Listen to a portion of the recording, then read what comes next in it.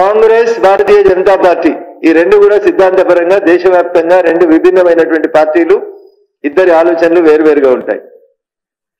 మేము ప్రపంచంలో ఉన్నటువంటి హిందూ బంధువులందరి ఆకాంక్ష రామ మందిరం కట్టాలని మేము కొట్లాడితే రామ మందిరం వద్దని వకీళ్ళని పెట్టి కొట్లాడినటువంటి పార్టీ కాంగ్రెస్ పార్టీ. ప్రపంచంలో ఉన్నటువంటి ప్రతి ఒక్కరు రామ మందిర నిర్మాణాన్ని రామ మందిరంలో నిన్న జరిగిన విగ్రహ ప్రాణ ప్రతిష్ట కార్యక్రమాన్ని రానటువంటి party Congress party. Congress BJP రెండు కలిసేట బీఆర్ఎస్ని గతం చేస్తాయట. అన్న వ్యక్తులు అనుకుంటే పార్టీలు గతం కావన్న. అసెంబ్లీ ఎన్నికలలో మిమ్మల్ని కథం చేయాలని తెలంగాణ ప్రజలు అనుకున్నారు. మిమ్మల్ని కథం చేసిర్రు.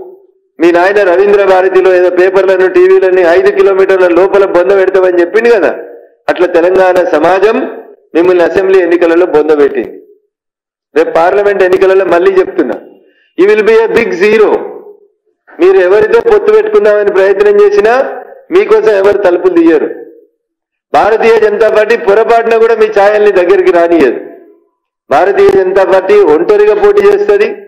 భారతదేశంలో తన ఎన్డీఏ భాగస్వామ్య పక్షాలను కలుపుకొని మొత్తం స్థానాలకి పోటీ చేస్తే తప్ప మిమ్మల్ని కథం చేసేందుకు ఇంకెవరితోటో పరోక్షంగా మేము చేతులు కలుపుతామనేటువంటి మీ ఆలోచన కుత్సితమైనటువంటి ఆలోచన మీ ఆలోచనని తెలంగాణ సమాజం తెలంగాణ పౌర సమాజం అంతా కూడా తీవ్రంగా ఖండిస్తుందని చెప్పి ఈ సందర్భంగా నేను అర్థం చెప్పదలుచుకున్నాను.